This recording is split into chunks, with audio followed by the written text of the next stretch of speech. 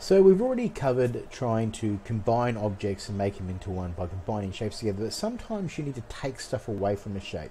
For example, if I want to put a hole through this cube here, I can use my cylinder here and I can place it into the cube, but instead of it being a solid, I can turn it into a hole, and that way it will actually produce a hole right through the cube. So let's just see. I'll click on here and it goes hole. So you can see it's outlined and it's grey, which is the symbolism for hole. Um, I'm then going to use my alignment to select both of them and then make sure that they are lined up this way and lined up that way.